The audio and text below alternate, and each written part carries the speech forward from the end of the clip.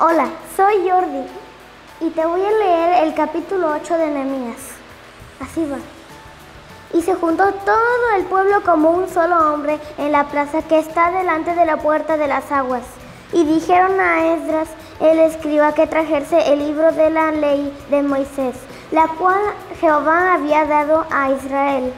Y el sacerdote Esdras trajo la ley delante de la congregación, así de hombres como de mujeres y de todos los que podrían entender el primer día del mes séptimo.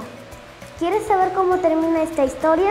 Reúne a tu familia en el culto familiar de esta tarde y descúbrelo.